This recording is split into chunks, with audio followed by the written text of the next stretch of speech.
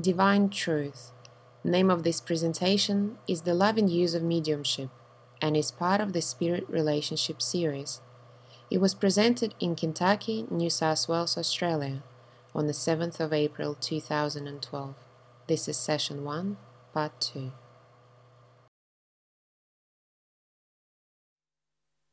So, all through that time, Timothy was still on earth, and uh, he finished up because of his uh, feelings of loss of his soulmate. He had a lot of grief in himself to feel, and uh, he f- finished up spending most of his time talking about traveling uh, around Europe uh, and the Middle East, telling the truth to others and talking about the truth to others. And he, because of his connection with his soulmate, he, he of course never remarried or anything like that after that. And he died nearly 30 years after, after Rachel. So that gives you a bit of background of Rachel and Timothy. And there's far more background, of course, in amongst all of that that they could give you. They were personal acquaintances of myself and Mary, uh, very close friends, and so we, uh, they can tell you many things about myself and Mary and life in the first century and the things they experienced and the things that we actually did say that are not recorded in the Bible and so forth. But we'll have to leave all of those things for another day. Um, now, there are the spirits who we'd like to uh, encourage to talk about this subject with you of the loving use of mediumship. And we would like to cover five particular, four or five particular things with you with regard to the loving use of mediumship. The, the first thing we'd like to talk about with you with regard to the loving use of mediumship is the underlying reason why God opened communication between spirits and mortals. The primary reason why God opened communication between people in the spirit world and people on earth is so that the people who are of development in the spirit world could pass new truths to people on earth. So this had been opened many, many years ago. When I say many years ago, almost 120,000 years ago, this uh, ability to communicate uh, began between spirits and people on earth. And uh, as a result of the ability to communicate, the earth went through many changes. Some of them were quite good changes, and others were quite difficult changes. Every time spirits in the spirit world got into a space of hearing new truth, they usually tried to find a person on earth that they could transmit this truth to.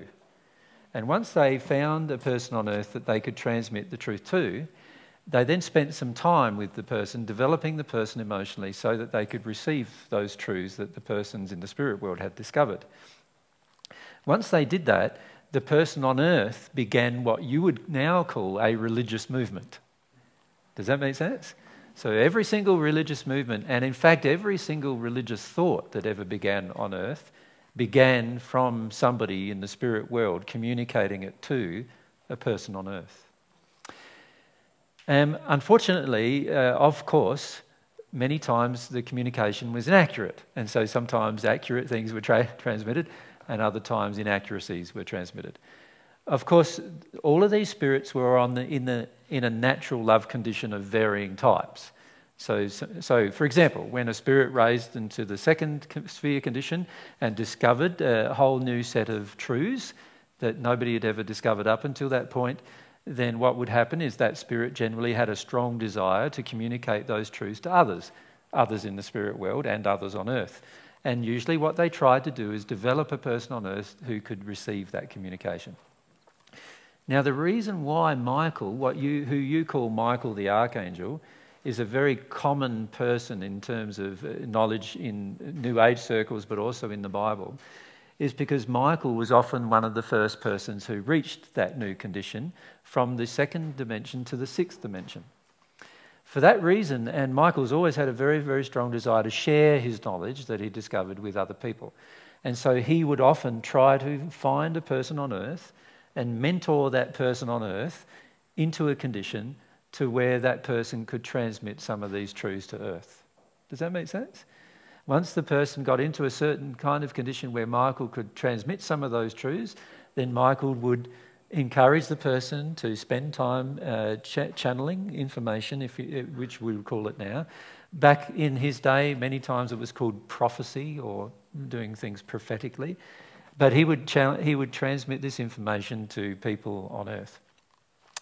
And often he would select a person specifically for that particular task, a person who was a bit more open than the rest of society, and also a person generally who had a bit more courage than the rest of society, because it would generally need courage to transmit new truths to a society that uh, was resistive to those truths. Does that make sense?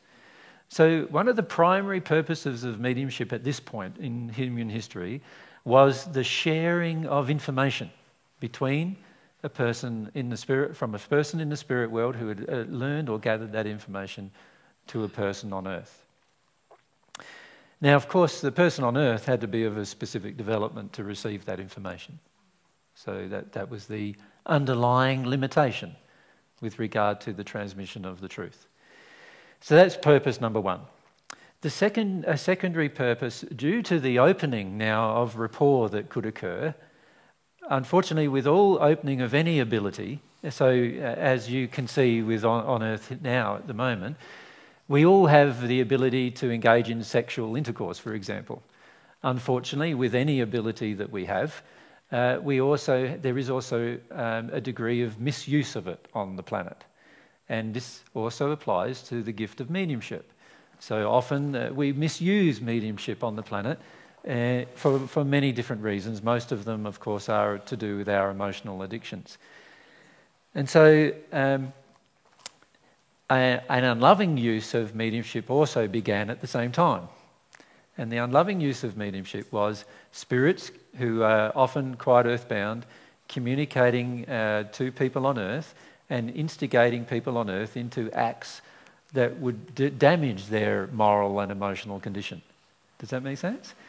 And unfortunately, um, while some individuals on earth improved in their condition, because of now the openness to people on earth to communicating with spirits, um, many people on earth degraded their condition.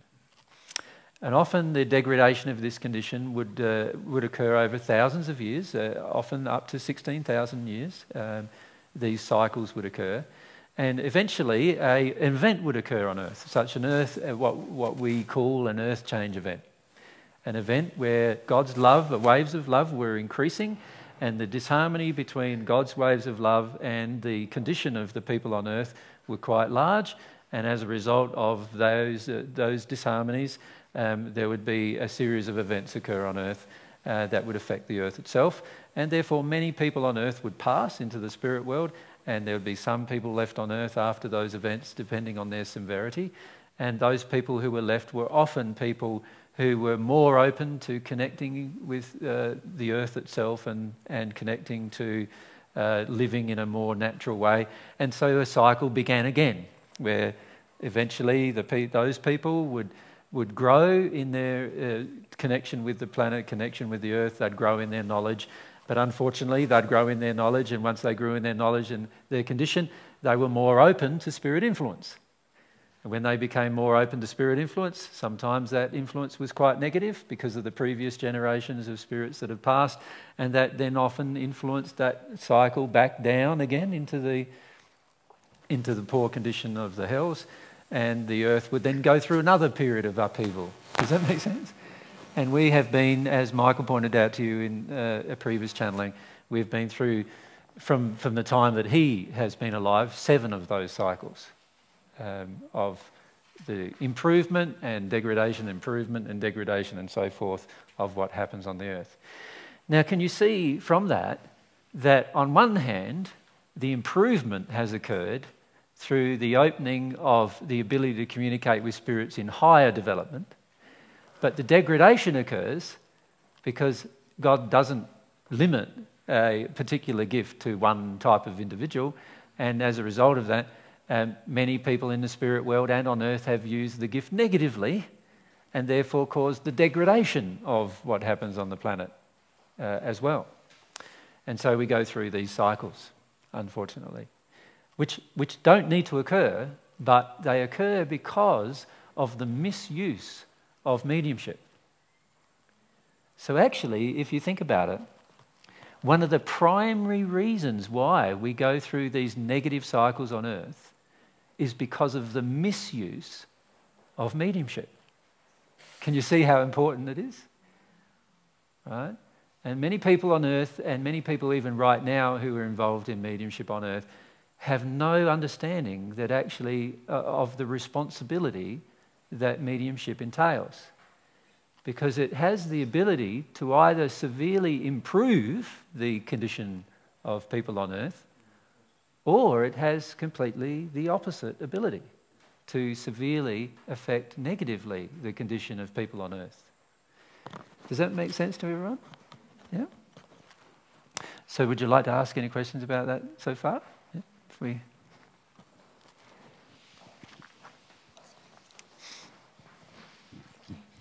So, is that why? Um, thank you very much, by the way, for this topic. It's like you've just read my mail, and it's fantastic. Thank you.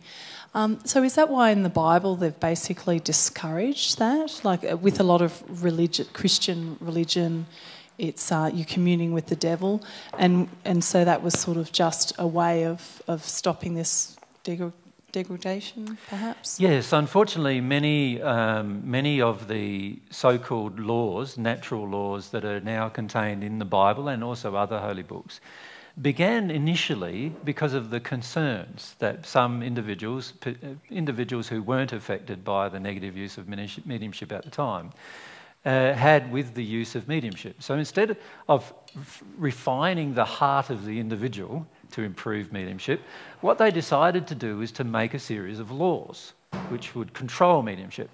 Now, unfortunately, there were two uh, motives for this. One motive was positive in the sense that the mo- mo- motive was that uh, I've just got a problem with my mic. I'll just try and move it around. Um, one of the motives was to uh, try and improve the use of mediumship um, by, by, unfortunately, by saying, no, there's a ban on it altogether. In other words, any person who uses mediumship is, is classified as an individual um, uh, that is under the influence of evil forces. And unfortunately, um, historically, many of them were put to death. There, was a law, there were laws initially created that caused many mediums to be put to death, which of course highly discouraged mediumship. But there was another motive too, and the secondary motive was a motive of spirits in dark condition who were also trying to prevent the, the transmission of truth to the earth. And so uh, many of those spirits realized that uh, some people on earth, who we often refer to as the prophets of old, um, who were involved in mediumship, were of quite good moral development. They had quite a lot of personal integrity, they had a lot of personal honesty, they were of good development, they weren't sexually permissive, um, so they had quite a lot of uh, good moral development, which enabled them to connect to spirits and connect to spirits who are of a higher condition. And unfortunately, they, cha- they channeled a lot of material which was completely the opposite of, of what these darker spirits wanted to see channeled. And so it also aided the blockage to mediumship through these laws, aided the, dark, the darkness to prevail as well. In other words, it stopped the transmission of good information to the earth. So that was a, it's also a purpose, a, a secondary purpose to it. So unfortunately, um, the so called priesthood then gained control of almost all religion on the planet. And when I say the priesthood, these are people who believe that they were the intermediaries between God and men, and that they could determine by force, by violence, uh, what people uh, were allowed to receive or not receive. And uh, by the time that myself and Mary were born in the first century, these, this priesthood was firmly established in almost all religious movements on the planet. Uh, this, which were all, and it's always about control. It's always about the control. So unfortunately, there, were, there was an underlying positive reason initially as to why people put a ban on the mediumship altogether.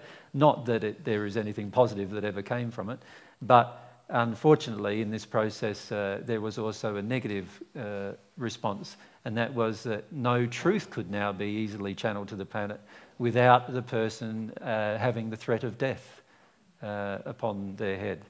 And so many people who channeled after that became recluses.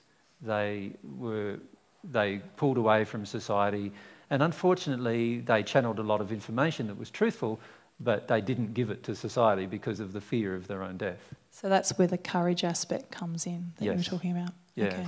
Yeah. And there is a great need for courage when it comes to living in harmony with truth. And unfortunately, many people who have heard truth in the past through this mediumship connection have not had the courage to give that information to others because of the different personal threats made upon them personally that would, in most instances, have resulted in their own death. Mm. Uh, I think I've heard you say that the general or collective soul condition of humanity um, is actually better now than certain times in the past. Um, no, I haven't necessarily said that. Okay. I've said the collective condition to the response or the investigation of truth is definitely better than it has been in the past. Okay. However, the collective moral condition of humanity, humanity right at this moment is much worse than it has been in times in the past. Okay. Okay so there's no. So over that those 16 um, periods of. Seven periods of 16,000 years, sorry, if you like, 16, around about, yeah. yes? So yeah. 130,000 years or so? There hasn't been like a slow sort of uh, increase in, in soul condition of humanity. It's been. Um, there was a degradation in the condition initially of humanity, and humanity went down into such a poor condition that the average person on earth lived from 20 to 30 years of age. And that's their full extent of their life on earth. And they passed in a condition where they were little better than an animal in terms of what they would understand with regard to tr- any truth. And then through the feed, through the channeling of information that was more positive coming from the spirit world, so once the spirits had reached the sixth dimension of the spirit world, from that point on, humanity began a very slow rise of condition over a period of time. Now, bear in mind, this is the condition of openness to truth, not necessarily the moral condition. Does that make sense? Um, so, for example, um, humanity reached um, in times past a very, very good moral condition in, before some of these major cataclysmic events occurred. Such a good moral condition that some spirits could even materialize on earth. And, um, but unfortunately, the spirits who materialized on earth caused the degradation of earth again, and then it went downhill very rapidly after that. So, so we've had these cycles occur. So you could say there's these cycles occurring like this, but the general improve, there is a general improvement over hundreds of thousands, uh, over now tens of thousands of years of general improvement, to such a point now that many of us can speak openly, like we are now speaking today, where 60 or 70 people can meet together openly and discuss matters of truth that are generally quite confronting to the world in, you know, around us, but we can do it in relative safety without somebody coming in and murdering us. And uh, whereas, whereas that's not always been possible in the past. Does that make sense? Well, just for the time being, up to today anyway, maybe tomorrow. yeah, thank you. Thank you. Um, the time of the witches, there was a lot of murdering the women. Were they also were involved with dark spirits in that time? Yes, uh, this cycle that I have described to you yeah. of uh, dark spirits and bright spirits influencing the planet has happened many times through history. And unfortunately, the Dark Ages were one of these times where, where, there was uh, where our presence on Earth in the first century caused a lot of light to appear on the Earth. Unfortunately, that light got distorted over a period of a few hundred years until such a point that certain people, the priesthood again, took control of this light and then, and then packaged it in a manner that was out of harmony with truth, of course. But in the process of packaging it, they made specific rules and put in place specific rules. Some of the rules were, again, relating to mediumship. And mm. one of the rules was that if you were basically a medium, then you were an agent of the devil. Mm. And, uh, And so, so what they did was they, dis- they discouraged prophecy through that, through that process. So what happened around 300 uh, or so um, was that there were these general rules that were placed upon the Christian society at the time, which I wouldn't call that Christian because many of them were highly violent, warmongering people at the time. But, uh, but they, um, they placed these rules on society. And the blackout, I suppose you could call it, there was a deep blackout of spirit communication for many, many hundreds of years um, where any person who was involved in spirit communication was generally murdered uh, for, if, if, if, it became known publicly. Yeah. Thank you. And they were eventually later called witches and burned alive, generally. Uh, or they had what were called tests put upon them, which were impossible to survive. And if you survived the test, then you were said to be an agent of the devil and you were murdered anyway. And if you died during the test, then you, then you were said to be innocent. Mm. Yeah. But you died anyway. Yeah. right? yeah. So, um, either way, there wasn't much of a hope of new truth being given to the earth during that That's time. Now, of course, many of our spirit friends, including ourselves, during that time were trying to enlighten people on earth. And this began to happen during what's called the Reformation. Uh, it's a period during the, the late 1400s, early 1500s, and then from, from then on, um, we managed to connect to people uh, who were spir- spiritual people, who were learned men, and we helped them read some of the verses that were in the Bible that pertain to love. And many of them started to discover truths about love as a result of that. And they then decided to start new religious faiths, which were more loving than the past one. And uh, many of them died, unfortunately, through this process.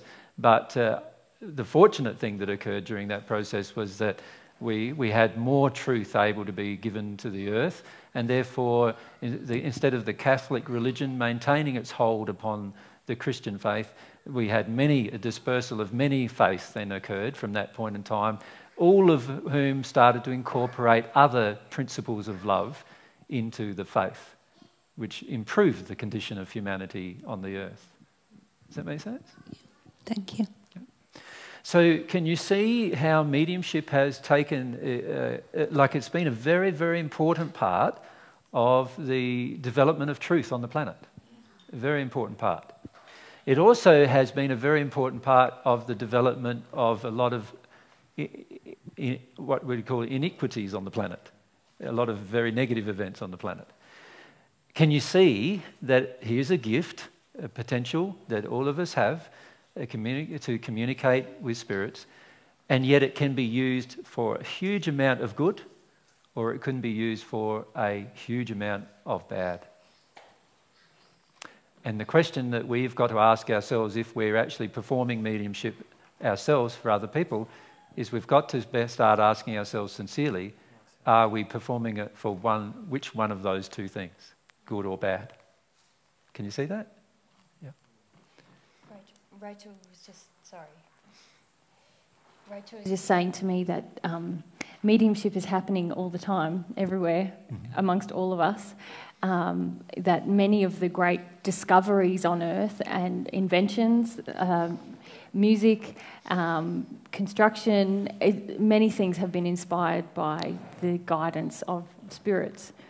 Um, she was saying, though, that um, it does that the reason why that happens so effectively often often is because a person's will and desire is actually in harmony with love and a desire for more truth. And so she was saying that it often gets very murky when we start to formally do mediumship because there's other emotions that come into play. But if if we remember that the um, the initial um, focus of a pure will or a pure desire is what usually enables the most pure purity in mediumship. That that um, that would ensure that we're all great mediums when we tried to do it formally. Yeah. Yeah. Yep. Um, just wait for the mic, thanks.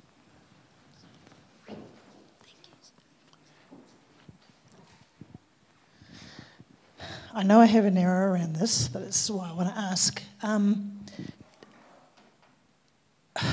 I, um, the the, the concept of new ideas and inspiration. Um, is that all of that? Does all of that come from spirits, or can we actually think up new things ourselves? I guess. Um, it's quite obvious the answer, isn't it? What, what's the answer? If a new idea can come from a spirit, then a new idea can certainly come from yourself. Because it isn't a spirit just a person? So, so the reality is that new ideas can come from any individual who's ever been created, whether they're living on earth or in the spirit world. Unfortunately, because of our emotional blockages on earth, most of the new ideas that happen on earth are not our own because we are emotionally blocked to the inspirational parts of ourselves, to the creative parts of ourselves. So a lot of the new ideas that happen on earth are actually coming from spirits uh, transmitted to us. However, in the spirit world, almost every new idea that's ever conceived comes from uh, the heart of, an, of a person in the spirit world, in, including the whole understanding of divine truth came from mine. So, so you, do you understand? Like every, so every single person is totally capable of having inspiration come from within themselves. But to do that, you have to be in a quite a pure space when it comes to your creative desires. The problem that we have on earth is that most of us are not in a pure space when it comes to our creative desires, and so therefore we often need to have inspiration from an external source. Thank you. Does that make sense, Teresa? Yeah. Yep. yep. So all of you are totally capable of discovering something new that nobody else has ever discovered.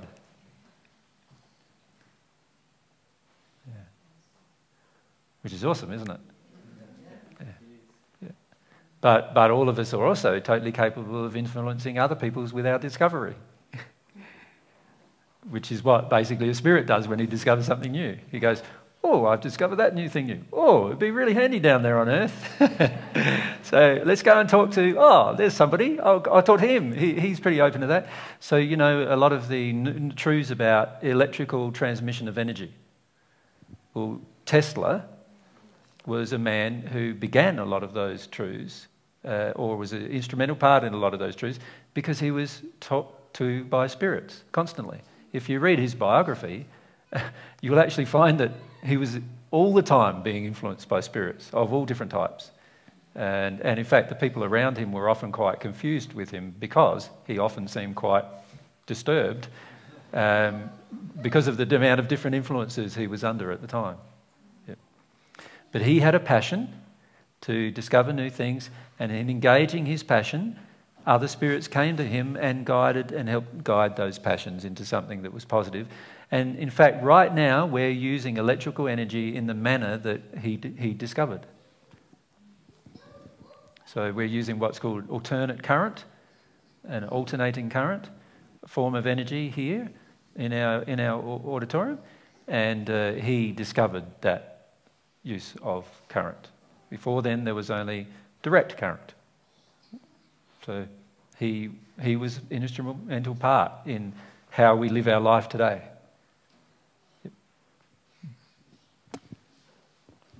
And he hasn't been forgotten because very recently there was a new song um, written about him. Yep. And it, the, the line says, you know, Nikola, we've got to make a difference. Yep. And it's just released fairly recently, so he Yeah. hasn't been forgotten at all. And he was in quite a good space in the sense of he desired to improve humanity's condition through the use of energy. And this is one reason why he could, he could connect with spirits who had completely different ways of looking at electrical energy than what was currently the, you know, the, the pervading beliefs on Earth, the, the, the standard beliefs on Earth at the time. Yeah, and he was also very, very concerned about the transmission of free energy. He, he, he felt the world would greatly benefit from free energy, but unfortunately, due to a number of different things that happened, uh, we now have metered energy, where people charge you for the delivery of the energy. So um, he also had at least schematics for uh, something called a death ray. Um, would that have been his own stuff, or would that be lower spirits also jumping on the bandwagon? Well, this is where almost every person who has ever been um, inspired by spirits in a positive direction has generally at some point in their life also been inspired by spirits in a negative direction. And, uh, and in fact, many scientific discoveries have been completely inspired by very, very dark spirits. Uh, so, for example, mankind needed to discover uh, things like radioactive material and the splitting of the atom and those kind of things. We need to discover those things for our own progress. However, uh, many dark spirits got involved in the discovery of those particular things. And of course, it, it, its first use was not to do with the production of energy, but rather to destroy quite a few hundred thousand people, which, which is very sad. But that's the first use. That was the first use of the negative transmission of information from the spirit world about radioactivity and atomic, uh, atomic information. Is in that case someone like Einstein? Is he soul-wise held responsible at all for E equals mc squared? Um, is Einstein held responsible? Yeah, because he was part of that process of, of making the knowledge available at all? No, I don't see the relationship, Alexis. I, think you're being quite distorted how you see things if you feel that way. No, I'm just wondering um, in terms but, but, of. But why would what? you wonder that a man like Einstein, who had a very pure desire to see peace on the earth, discovers a scientific truth that he then, because of his love for people, gives to others? They then begin using it in a negative manner. How could he then re- be responsible for that? Can you see that your fear is in there? Yeah. In that question? Sure, yeah. You're, you're afraid of discovering something new and you're giving it to somebody else and then they use it badly and then somehow you'll be to blame. Yeah. Right? And that's yeah, not the case. Does that make sense? Yeah, that happened yeah. actually. God, God attributes the uh, results uh, to the people who make the decisions out of harmony with love, not to the people who make the decisions in harmony with love. Right? So you right now could discover a scientific truth which has the potential to destroy half the population, right? but if that scientific truth, if you give it to the world uh, from a condition of love, then, then you are completely absolved from any, uh, anything to do with how the world then uses that particular information. Mm-hmm. Does that make sense? Yeah. yeah. yeah. So, so can we see already the use of mediumship? There, there is a responsibility. Can you see that? Um, every one of us has the ability, and many of us do on a daily basis, as, as Rachel pointed out. On a daily basis, you do connect to spirits. Many of you are not even aware when you're being connect, connecting to spirits, and so you don't call it mediumship. You just call it, oh, I come up with a good idea then. That's what you call it. Or, oh, that was a wonderful idea. Oh, that happened really nice. Uh, my soul's pretty powerful when it's not actually your soul, but somebody, somebody in the spirit world helping you out. Um, and many times we do take uh, credit for, for something that we believe is ourself when the reality is that it's a spirit who's actually given us or helped us with that information. The key thing now, though, that we'd like to discuss with you is what the spirits who are of a higher condition see when they see many of you engaging in mediumship. That, does that make sense? Now, I've described to you uh, in the past how every unhealed emotion that you have is like a, there is like a cord of energy coming out of you. And remember, I've described it to you, it's like a hook going out, like tentacles going out, waiting to engulf somebody. right? And if that person is accepting the tentacles of I've got going out, then bang, that person is in the engulfment of this emotional addiction. Now, what we would like to do now is describe to you, and uh, if I can involve the, the guys here, if we can describe to you what some of these things or hooks look like in terms of how they see them so that you can begin to see what's really going on in many cases. Right? So, so let's say a person just has a desire and it's a pure desire to, for mediumship. Now, can, what colour does that look like from, from, uh, from coming out of the soul of a person? We'll, we'll see how accurate we are. Let's both uh, get a, get a colour. I get orange. I get like a pinky, um, corally kind of a colour. Yeah, yeah, So, uh, it's an orange coral, sort of pink, uh, very uh, sort of like if we can point out in the audience, Yeah, sort of similar to Philippa's top. similar to Philippa's top. That's No, a bit different. Does that make sense? Now, let's say the desire for mediumship is now tinged with the desire for glory or power. What does it now look like? Well, It immediately loses its uh, brilliance. So no longer is it this bright, corally, sort of pinky orange colour. Just it becomes like a murky brown, like khaki kind of. So if we can point out somebody else's uh, colour who's got it in there. Uh,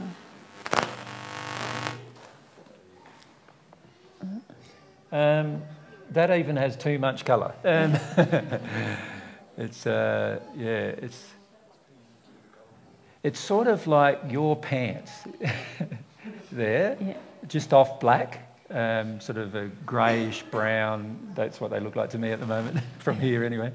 Um, or the dress, Yeah. not maybe. far off the dress Yeah. there. Yeah. And, and a bit like um, no, that's at the front, the skirt. The, your skirt, yeah, that's Yeah. it. It's a bit like that. Um, Colour? And the jumper with the stripes. The Yeah. jumper with the stripes, Yes. Um, That's more like it. Actually. Yeah.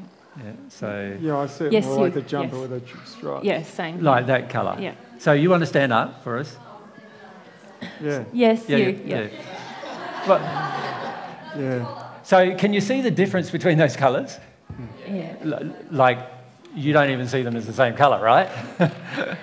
and and so what we need to understand is that as soon as something is tinged with an emotion that's out of harmony with love, it turns from this beautiful, bright, brilliant colour into this real murky, totally different type of colour.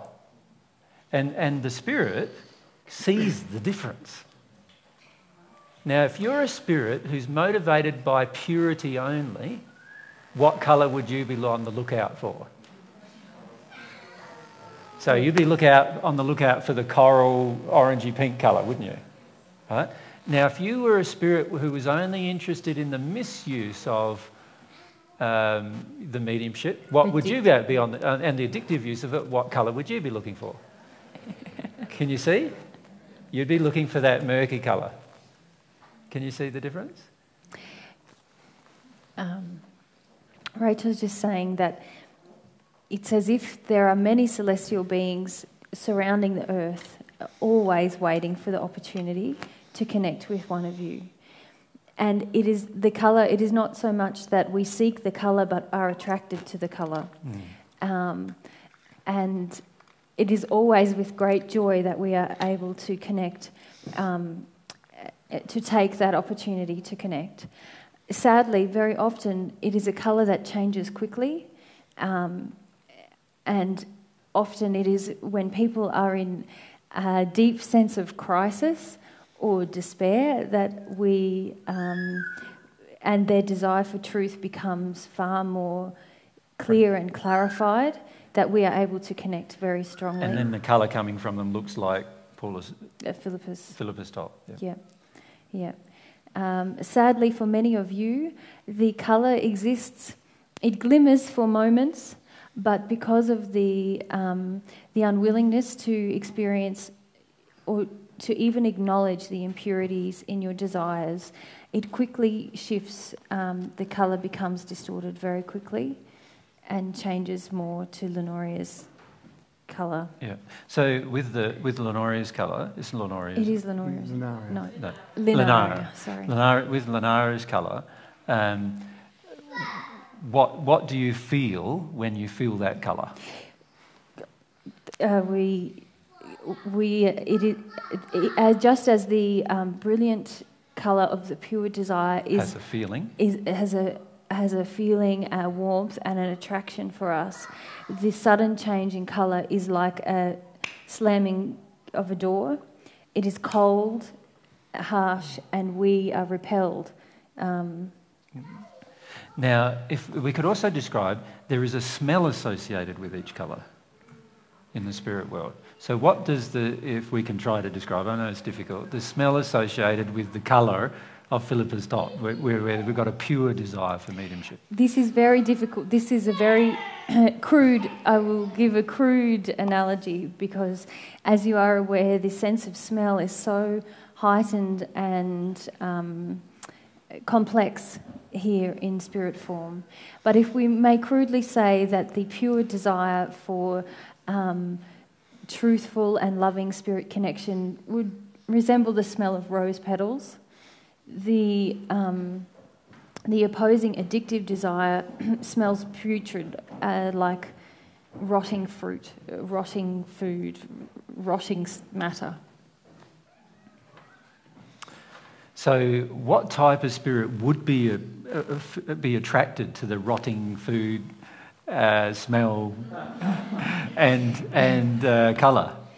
Sadly, this would be our brothers and sisters who uh, live in conditions of darkness surrounding the earth, those who wish to avoid their deepest pains and shames, these ones who uh, sadly try to avoid this, um, this smell or sense about themselves through connecting with others. Okay, let's ask some questions. So let's come down to just sorry down. Yep. Rachel, does that mean that each of those dimensions actually smell like those colours all the time? If everybody's yes. matching that level? Uh, if you could imagine smell? the um, each sphere which we traverse is a complete sensory experience. It not just has uh, a smell or a sight, but our own spirit bodies feel particular ways within the spheres that we that we traverse through our development. So yes, um, those in um, hellish conditions uh, uh, um, experience a smell around them, but also they feel repulsed by the smell of their own condition. Um, so uh, remembering that the condition reflected around a person is indicative of their own soul and spirit condition. The smell is, in fact, they perceive it as coming from the surroundings, but it is, in fact, belonging to their own condition. So, would that not be something that would start to stimulate them to change? Or? As with everything in God's universe, um, all things are geared towards the stimulus of change towards love. But yes. if you want to believe that it's something outside of yourself that's creating that smell, then you're not probably going to look at yourself, are you, first? Just as many of you would prefer to look at those things outside of yourselves and blame them um, for, the, for the sadness and unhappiness that you feel. This is not a condition unique to you while you have a physical body. After passing, that same injury stays with many people, and they prefer to blame their surroundings for their discomfort, for their the, the smell, for their, for their lack of peace and happiness, when, as you rightly point out, God has designed everything, that we would begin to, to look within us to what injury may be creating these situations. So the whole universe is geared for you to look internally, but unfortunately, the majority of us are very resistive to that. And so, whenever anything's unpleasant, we blame something externally.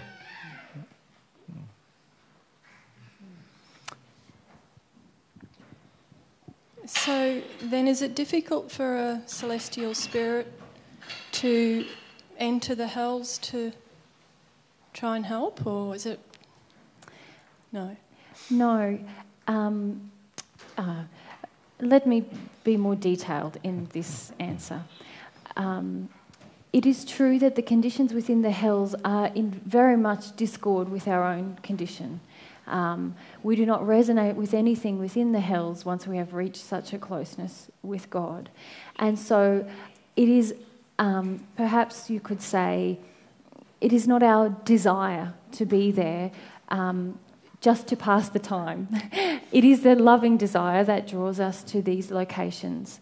And we do uh, have to alter some of our, our own um, connection with um, God. That is not the correct way to say it, but this is the way that Mary conveys If I can it. explain it, perhaps, because I think Mary's going to struggle with this. But um, it, what has to happen is you you detune your sensory apparatus, if you like, in your spirit body, as you enter the hells. If you're a celestial spirit, you detune the senses. Where everything you observe everything, and if you choose to smell it, you can still smell it but it has no effect on you. It does not enter you, nor does it infiltrate your spirit body's condition nor your soul condition. And this is also. But it's still present. What we wish to say. We have an awareness of the. Um, the filth and the smell of the conditions surrounding us. But as each of you will experience, as you progress in love, this love also affords you uh, more tolerance of such things. These things are not your preference, but you do not feel such a need to um, reject or resist. Uh, Maybe if I can give a physical illustration, it's a bit like imagine if there was a rotting carcass uh, at the, at, dropped at your front door full of maggots. Right? And um, many of us would open the front door and see the rotting carcass full of maggots and smell it and we would be what? What would, what would we do? You'd go, oh, oh, shocking. You'd rave on and carry on about how bad it is, and I've got to fix this straight up. And you put on masks, and you put on clothes, and you put on gloves, and away you go and try to get rid of the mess, right? That's what you would do, right? Now, a celestial spirit doesn't respond to the same to it the same way. A celestial spirit would, would see it for as, as it is, and, uh, but, but not feel so uh, internally repelled by the experience. Does that make sense? For it is viewed with eyes of love. Hmm. There is a, a not a, a, in the example that you give, there is an acknowledgement of the animal which has um, been a part of, which is a part of God's creation, the process of decay which is occurring, which is also a part of God's creation. Um, and there is a, a, respect for all of these processes. But please keep in mind, as I say this, this is not an intellectual um, way of distancing ourselves from this process. It is more an encompassing um, feeling of love for the entire process. Hmm. And because of that feeling of love, the smells and the tastes and the other things that bombard you are not, they don't enter you because of the feelings that you have of love that basically combat the. Uh, it's a very difficult. combat's probably not and the right word either. But. There is, if we now relate this analogy to our service to those in the hellish spheres, there is a sense of love for the condition that the person finds themselves in. Mm. There is a compassion. There is a, a complete understanding of the situations which have led this person to be in this state. Again, many of you are tempted to consider this in an intellectual fashion and generate compassion. However, it is for ourselves a feeling of love which encompasses all of these things simultaneously, which means that we do not feel repulsion for the person or their situation. More it is this loving desire that we would connect with them in, in the state that they are in and assist them, mm. which means that we do not um, find it so horrific to be in the hells. Can, can I also point out too that uh, many of us within your mediumship nights that you do, many of you, um, when you hear a spirit talk or hear a spirit in a poor condition come to speak, you have feelings towards that spirit that are very, very dark. So you'll, often have feelings of rage or anger towards the spirit, or you'll have feelings where you laugh at the spirit, where you think it's quite humorous that the spirit's going through pain that you don't understand and why they're doing it, and so forth. Now, these are not the feelings that a celestial spirit has for those particular people. And, and this is where our mediumship and night, mediumship nights can become very out of harmony with love very rapidly. So, so we've got to be very careful about that. You want to comment about? Uh, because simply, Angelo would want to comment too. Uh, yes. Yeah. Um, and perhaps my brother Angelo is better to speak upon this topic. However, we wish to say that there are many of us present as you gather um, on these nights to speak with spirits. However, our ability to assist those spirits and yourselves is severely impeded by this lack of desire to serve, um, serve anyone other than yourselves through these gatherings. When each of you develop more of a sincere desire to assist those around you, but also assist those in these lower spheres, we are able to act far more um, immediately and meaningfully in terms of the guidance that we may provide to yourselves and to those who are struggling to leave these dark conditions. Yeah, can we add Evangeline? With the Thursday night mediumship that happens at Kyabra, often a brave spirit comes to visit. And that brave spirit, who's in a courageous moment, has come, is surrounded by many other spirits who are in part of that group or watching. As soon as there's any condemnation to that spirit, those other spirits then leave. And instead of just helping many, we start to only help one or two or a few. Mm. In fact, those spirits who come to you on these evenings display a great deal of humility. And this is a point that many of you neglect. That they, uh, when I say a great deal of humility, what I actually said was they display more humility than those in the group. Can, in I, can I sort of ask- illustrate how? Yes. Um, many of you in the group would not openly talk about your life to a heap of strangers Who have a sense of ridicule. who have a sense of ridicule about your life. Is that not true? And yet, many of these spirits are coming to you, talking openly about their life, risking your ridicule. So that tells us that they are already more humble than you are, and yet you laugh at them. Can It's you the- see the? It's their desire to know more that brings them. And there's an opportunity that they bring all those around them at the same time. Mm. And generally, at the moment, what happens is we only help a few rather than many. And Rachel wanted to say a little more. Uh, there is a an, in, an essential um, ingredient to loving mediumship is the respect and honour of those that you uh, communicate with. This is the the most uh, meaningful, oftentimes the the way that we make connection with those in darker conditions than ourselves is through the love that we display to those in spirit. So, if we may um, draw the comparison between our work in the celestial realms, helping um, people in lower spheres, to your um, exercises in mediumship here on earth, the way that we approach the assistance of others in lower spheres is through having a deep honour and respect for each person as a child of God who has had a unique life's experience which has led them to whichever point we meet them at. For yourselves, there is often still this deep delineation between yourselves in the flesh and those in spirit.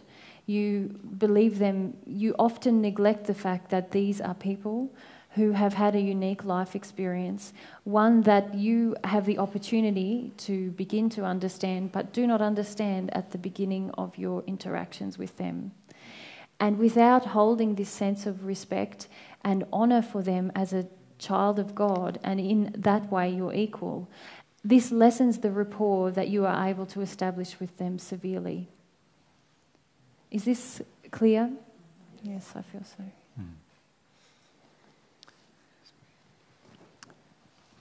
Just ask a question. So.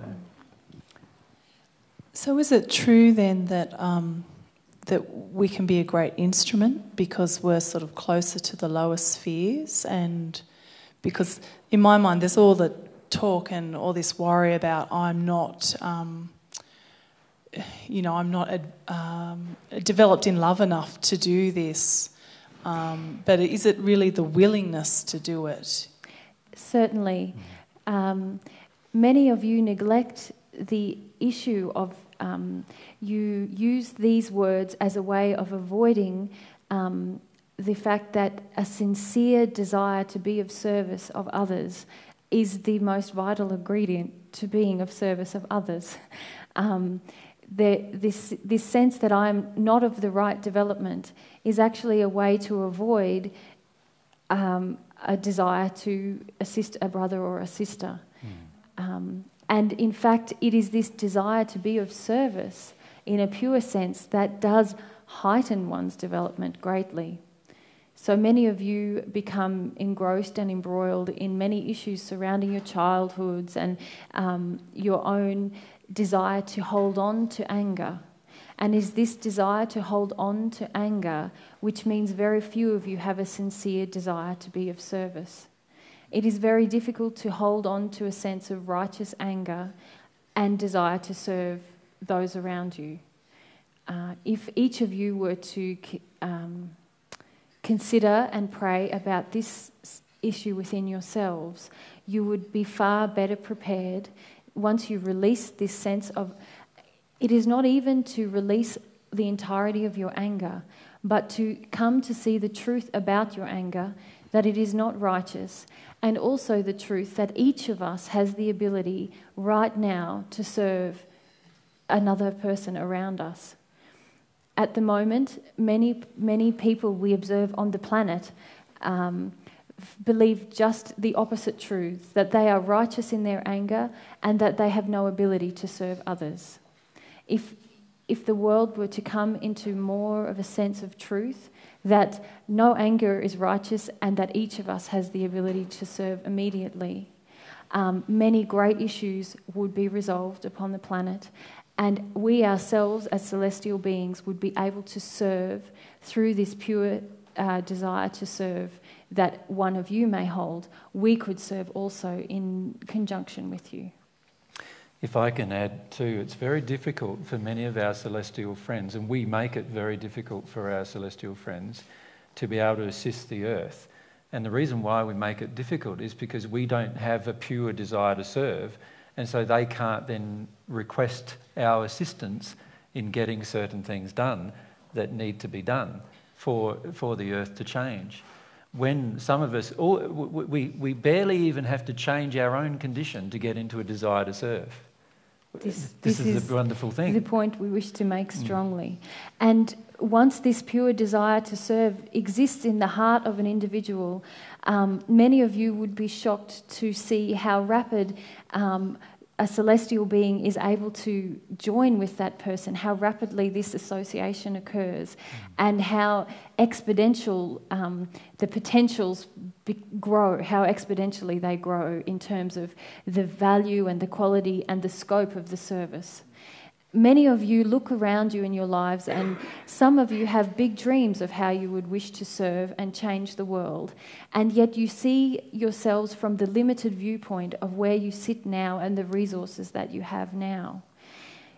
We say to you, if you were just to trust this very pure, um, sincere desire to serve, if you were to grow this within yourselves, there is a great amount that we would be able to do to assist you because when one person has the pure desire to serve in their heart and they begin to act on this desire, they are no longer one person uh, serving. There are many of us who join immediately. Mm. But we are only enabled to join by, having, by this um, prerequisite condition within the soul of the individual, which is the sincere desire to serve, mm. as our brother mm-hmm. It's very nice. So, does everyone understand that. I feel if you look at our practical situation, many times we have these gatherings, right, where there's 40 or 50 or 60 or 100 people together. It is still very difficult for myself and Mary to find a person who is willing to hand the microphone around. Now, that's because the majority of us uh, don't have a desire to serve. We have a desire to sit there and absorb, or we're afraid. You know, we're afraid of doing that job or we have, a, which is a really being self absorbed, or we have a desire to sit down and enjoy, but without having to have any sharing and participating with making it happen. And uh, this, these are examples in our day to day, you know, even in our own interactions, where the desire to serve are not present. This is why you often find exactly the same people doing exactly the same things, because they are the people who do have a desire to serve.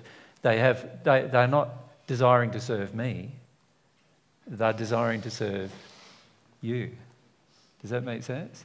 So when Igor does the stuff for, to, to put on the internet, it doesn't benefit me, him doing that at all. I already know the material.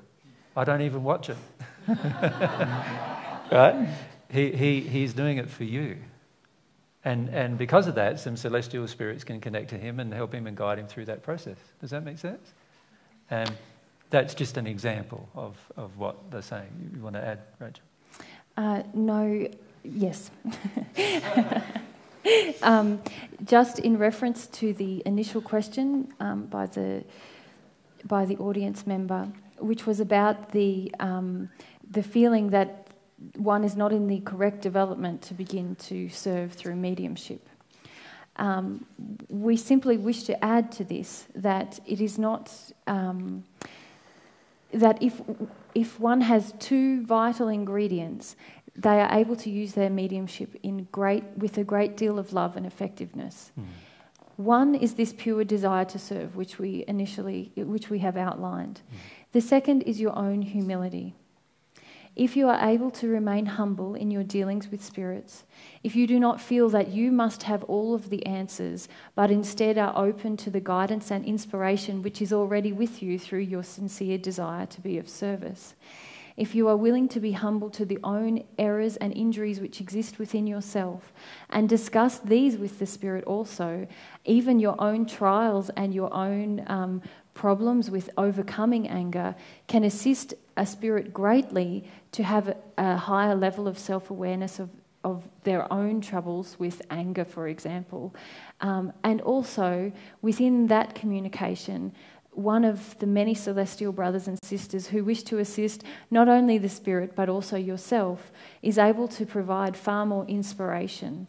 But it is not only the desire to be of service, but your own humility to the issues which exist within yourself, which will enable this to um, flow smoothly. And perhaps the other third uh, fairly important ingre- ingredient too is to understand that mediumship doesn't only occur when you sit down and try to do mediumship. So, whenever you are in a passionate desire of your own, so let's say you had a passionate desire to do music, and you had a passionate desire to serve, and you had a passionate desire to stay humble. In that place, uh, many celestial spirits can connect to you and inspire you with lyrics and songs and the, the actual writing of the music and all of these other things can be inspired, which will actually benefit thousands, if not millions, of persons potentially. And so, so you could say that your passion and desire, your humility and your desire to serve now combine to attract a spirit with very similar passions and desires, with a similar desire for humility and a desire to serve. And together, you now have the ability to create something that will affect the entire world. Right? Now, unfortunately, when we start doing things that have the ability to affect the entire world, many of us then flick into the impure desire to serve. So, in other words, now we're doing it because we're self serving. We, we want glory, attention, approval. We want people to say that we did it all and all those kind of things. And now we've gone from that pure coral to the very dark brown and the putrid smelling thing. And of course, now all of that cooperative effort that could be assisted through these spirit interactions all of those good spirits have to step back from us. And then what other spirit, spirits are going to step in? All of those dark spirits will step in. And then they will use your impure desire and your uh, lack of humility and your inability to, um, to do it to serve others. And they will use that for their own ends in a negative way. Can you see how it can go from one to the other quite rapidly if we're not careful and if we don't work through our emotional issues. Alexis?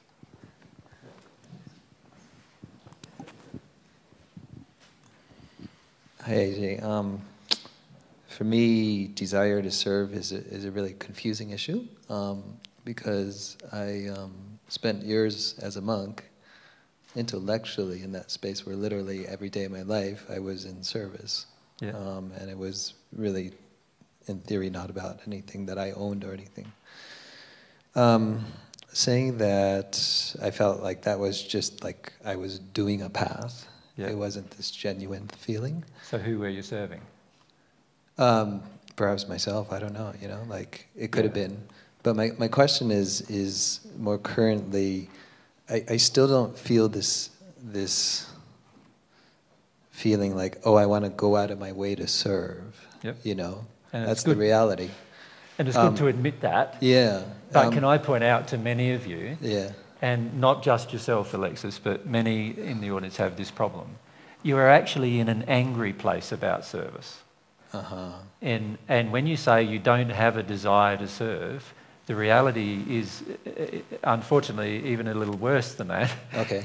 There is a, there is a strong feeling inside of many of us that we do not want to serve anybody. We're sick of serving anybody. We're sick of having to do that. And when you start connecting with the emotion, you start feeling all of that rage inside that says, I'm not going to do that. Why should I have to do that? And, and that's the real feeling that we actually have. Yeah.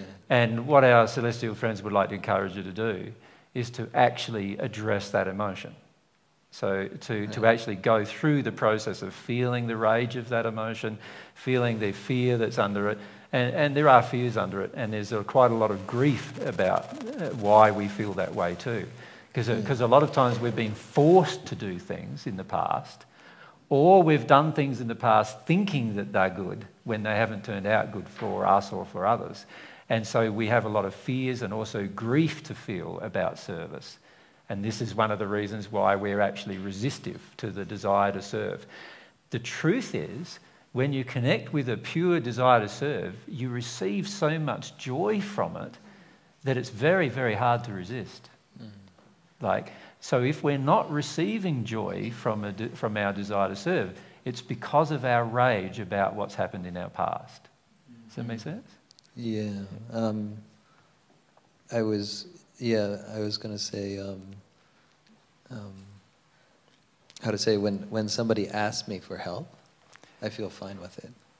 But it's, it's different, I'm feeling. Like there's, uh, there's, like even with the mediumship thing, I, well, with the mediumship thing, it's almost a little different where I start to feel everything the spirit feels, and it feels so horrible that I feel like I just got to deal with this. You know, so it's it's still a reluctance. So, actually. so can you see there is an underlying reluctance which, Yeah. which needs to be addressed? Yeah. But, but can you also see inside of you there's still this spark of compassion that drives yeah, your when service, I feel right? it, I, I really So want to help. when them. you feel that compassion start to grow, Yeah. then your desire to service increases.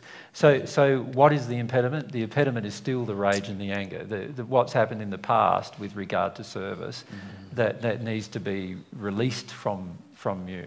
And, and the majority of people we find are actually in that condition where they will not admit to them, even to themselves, that reality is they do want to come to, to one of these events and just be able to sit there and enjoy the whole thing. Does that make sense? Yeah. Rather than do anything. Um, and when you think about our day to day life, can you see even in our day to day life, we often have this expectation, like where, you know, we, we, we like to have somebody else make the meal for us. We don't like to make the meal for somebody else. Like how many of you ladies would love your husbands to make a meal for you? And that's probably never happened for some of you for, for as long as you can remember. Um, and, and that's because the man in that case does not have the desire to serve. He, he just wants to just sit there and absorb what's given to him.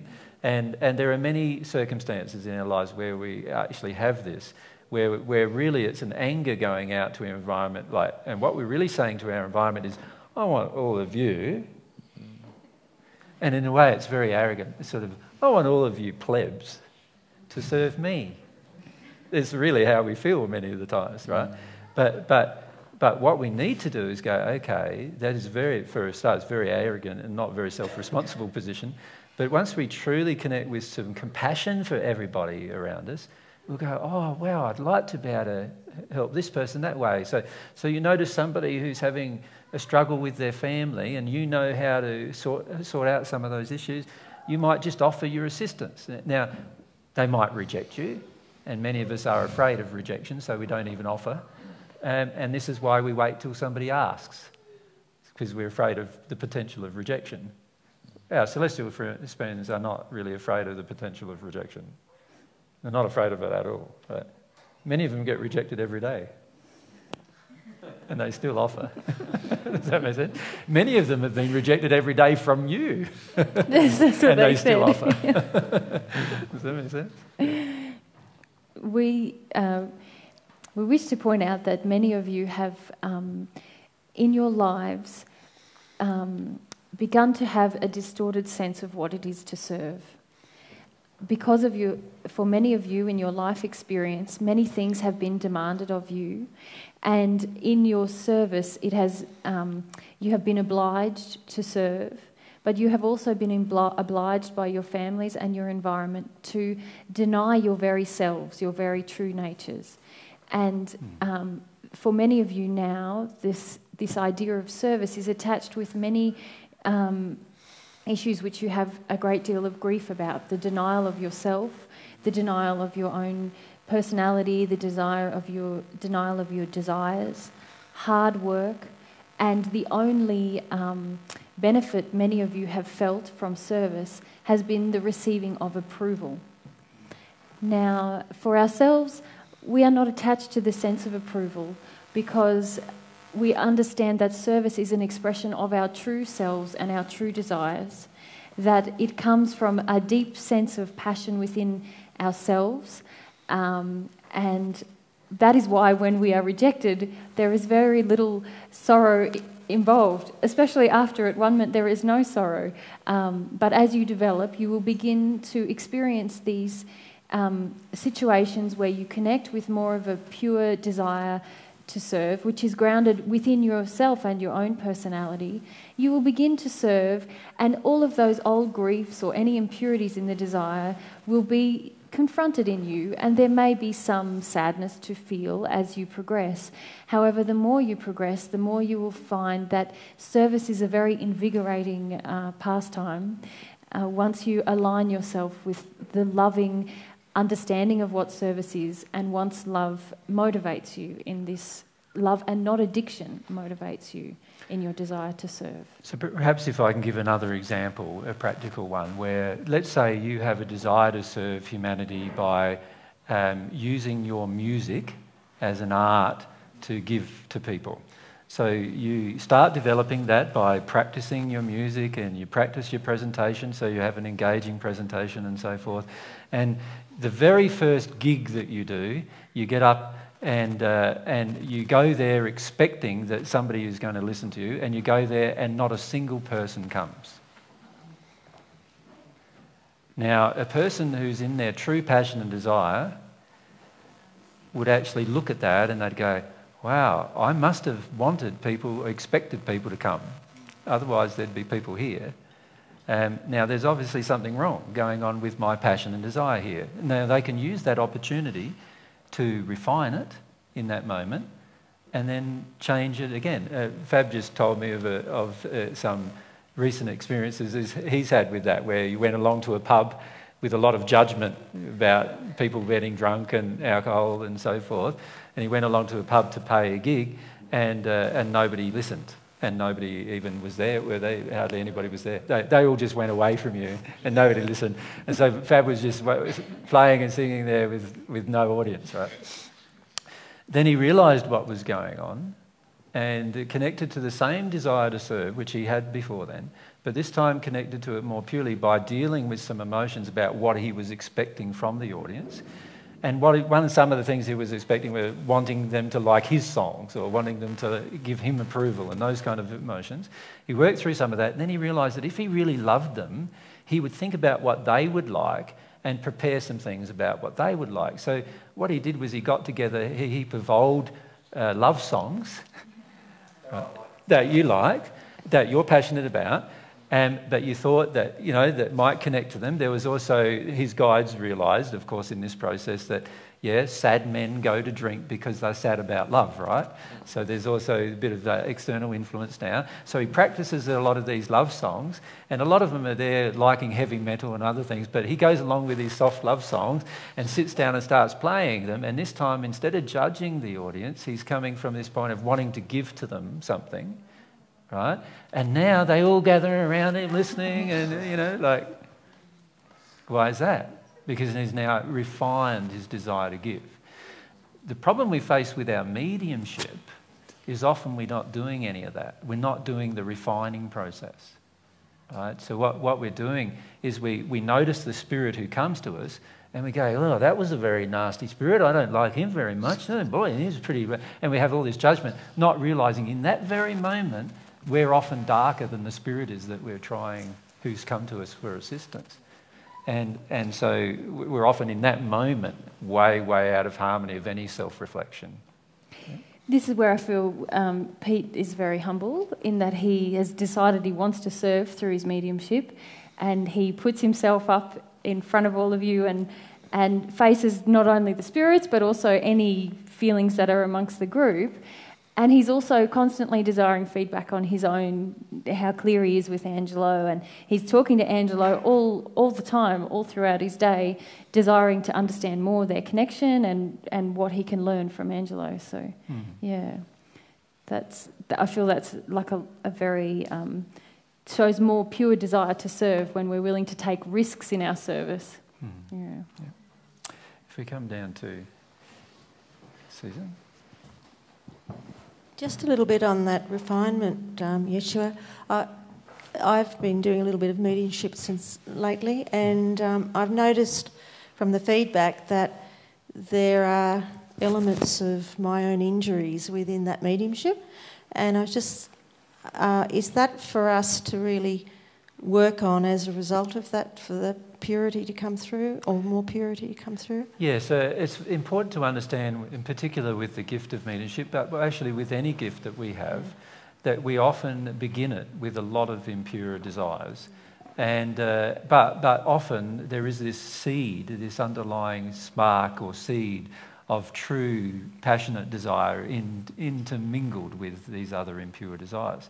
And so, what happens when we embrace the process, if we're humble to see then we will actually see many things about what's going on if we embrace the process of doing what we desire. So, in Fab's case with the music, embraces a process, gets some feedback, knows that he's got to do something himself, deals with that thing, goes back and tries the same thing again, and this time it's a completely different outcome. Now, it's exactly the same with our mediumship. We embrace our process, embrace the desire. Often, some spirits will come to us who are a mirror of our own emotional injuries, right? Or are, have some kind of compatibility with our, or sympathy with our own emotional injuries. And, and if we're sitting there judging them, in reality, all we're doing is sitting there judging ourselves because we're the ones who attracted them in the first place to talk with us. And so what we need to do is go, okay, this time I've, I've, I've, oh, again, I've got a very angry woman with me. Mm, that's very interesting. Why do, they, why do these angry women find it so easy to speak through me? You know, uh, now there, there, can only be one of two possible explanations probably. One is that we are very angry and so they find it very easy, or one is that we're very afraid of very angry women and they find it very easy. Um, and we need to uh, be self analytical and examine that. And if we deal with that and examine that, that in a loving manner, instead of condemning the spirit we've attracted, if we deal with it in a loving manner, then we're of course going to have a very, very different outcome. What I find happening a lot is that people are con- condemning the spirits that are with them. In fact, many of you ha- have been very angry and rageful with the spirits who you've attracted into your life, not understanding that you attracted them, not understanding that it's something to do inside of your condition that attracted them. Right?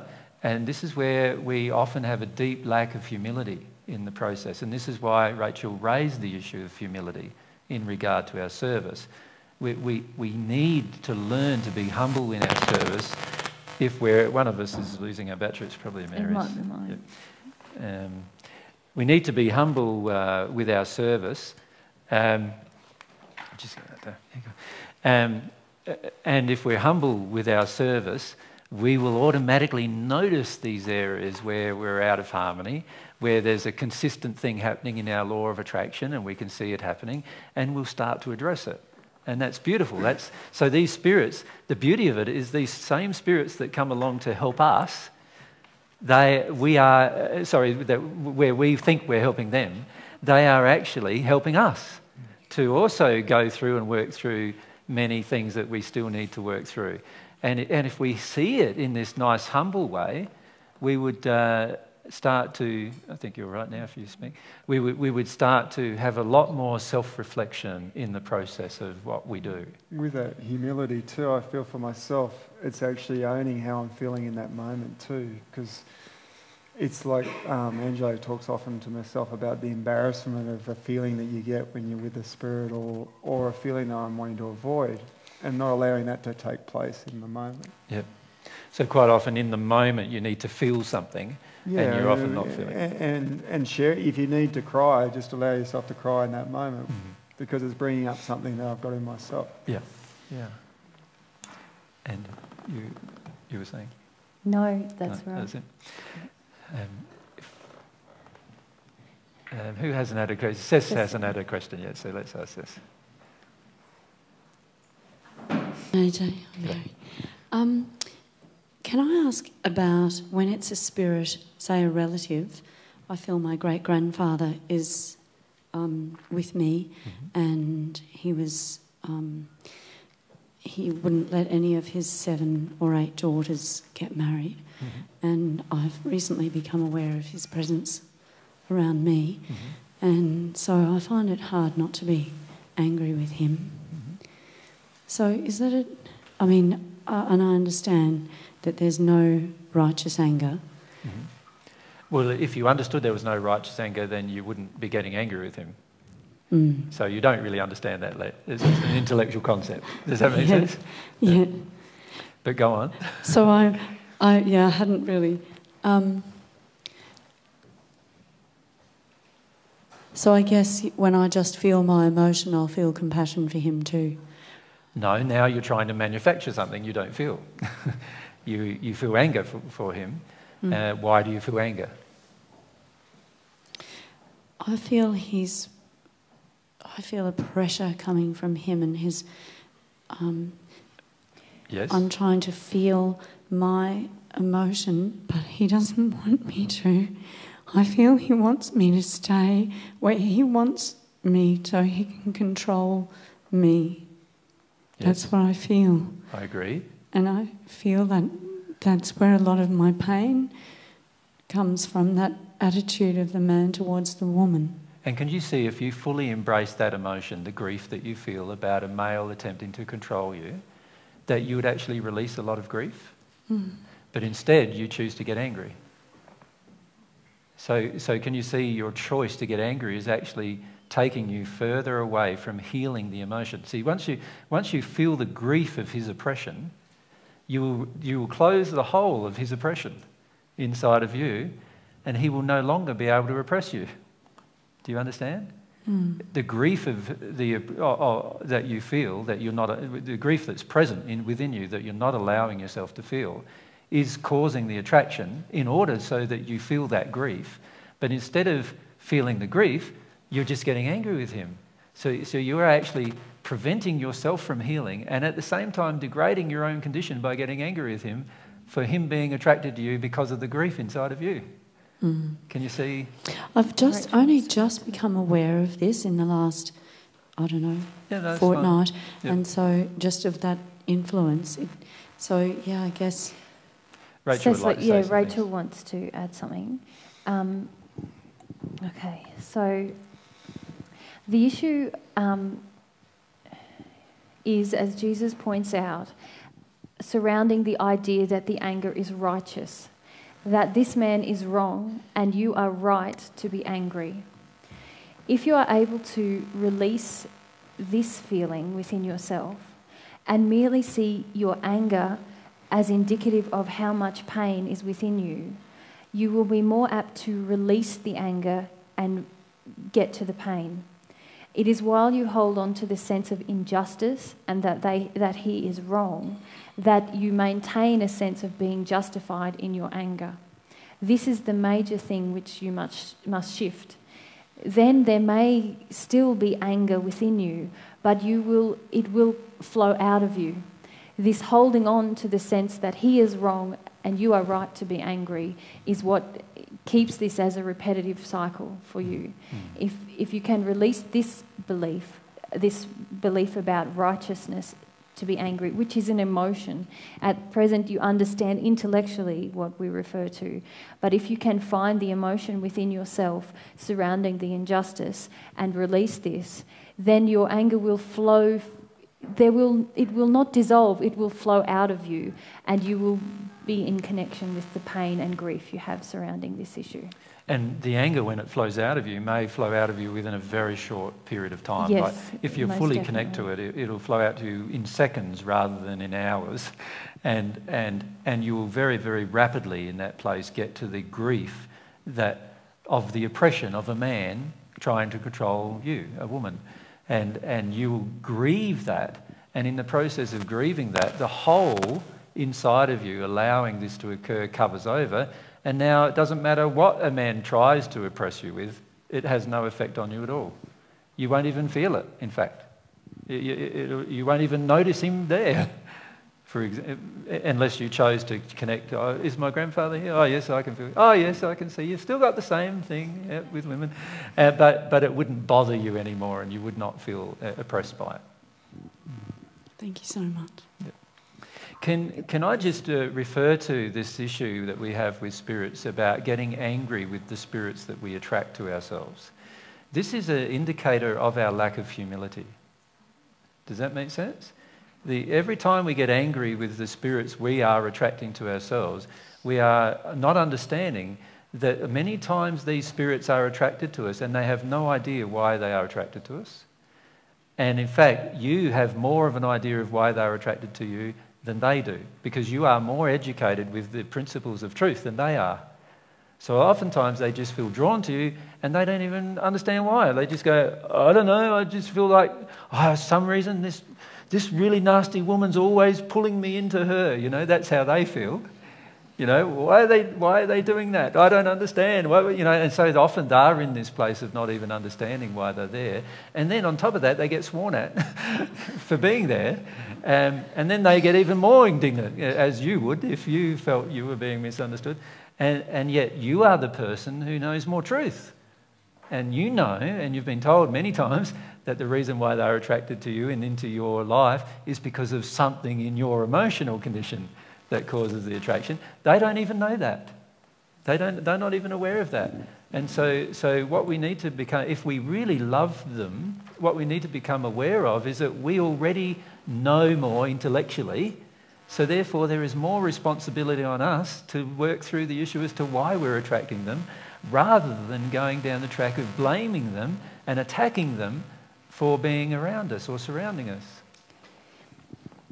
If we may add to that from a celestial perspective, when we view these interactions um, from our condition with a viewpoint upon the earth, it is as if you tussle with each other. These earthbound spirits and those of you in the earth plane, if we may um, give you the image of a dog fight, um, each of you um, snarling and biting and grabbing at each other, um, placing the blame upon the other, this, the earthbound spirit and the person who is they are attracted to or who is attracting them. Each desires many times to blame the other. And this is one of the um, conditions which um, keeps any soul in the condition of the hells the desire to blame or to um, avoid our own pain and make it the problem of another. So while you continue this, it is very difficult for us to intercede into such a dogfight, and it is very circular. It, it keeps both the spirit and the individual, and many times it is uh, many spirits and many individuals in very similar situations in certain areas, um, keeps them in this very low state. if you are able to um, cease your desire to blame, uh, to shift the blame, to avoid your pain, and acknowledge the truth, just as Jesus suggests, this, this enables us to make a connection with you. The circular action is ceased, and you are standing for yourself, taking respons- some more responsibility for yourself. And in this way, there is some truth within you, and we are able to connect to you once there is some desire for truth or some acknowledgement of truth within you. Truth is a great. Um, I can't find the word. Sorry, Rachel. Uh, not leveler. It it makes it enables us equal opportunities, if you like, when someone, it is an equal opportunity um, um, quality. Once a person, no matter what their condition, desires truth, they have the opportunity to connect with God and a celestial being almost immediately. Can, can you see, to Cecily, how if, if I'm in this, uh, uh, this dogfight thing is really important to understand. It's sort of physically, if you could liken it physically, it's like Mary being really upset with me about something she feels I'm doing to her, me being really upset with Mary about something she's doing, that I feel she's doing to me. So I hit her, she hits me, I hit her, she hits me, I hit her, she hits me, I hit her. Where are we going? Nowhere. It's only uh, we're going into this escalating area of violence towards each other, are we not? Isn't, isn't that where we're going? But now, if, if I hit her, and instead of her hitting me back, she just had a cry, there is not going to be an escalation, is there, of that violence? Can you see that?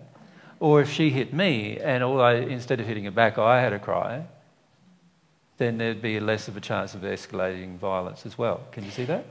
And what Rachel's actually saying is that if I hit you and you have a cry, given, especially this spirit interaction thing, given how similar our conditions are, if he starts crying about the pain he's in, I, it's actually quite likely that I start crying. crying. about having hit me.